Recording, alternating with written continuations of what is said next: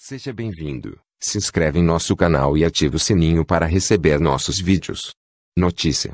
A cantora internacional Laura Pausini foi uma das atrações do quadro Ding Dong do programa Domingão do Faustão desse domingo, 25 de fevereiro, e gerou o maior tumulto nas redes sociais com uma frase dita e uma pergunta feita para o apresentador e amigo Fausto Silva.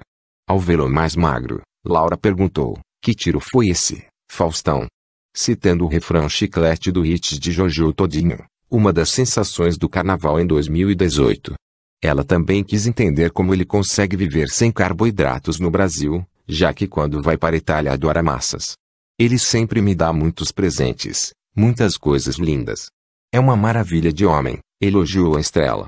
Faustão também comemorou a presença de Laura no Brasil, sexta vez. A cantora internacional que mais vezes veio a esse programa, disse. Vale frisar que a presença da cantora no Brasil é para uma parceria musical com a dupla sertaneja Simone e Simaria. E você, gosta das músicas de Laura Pausini? É fã da cantora? Conte pra gente, deixe seu comentário. Seja bem-vindo.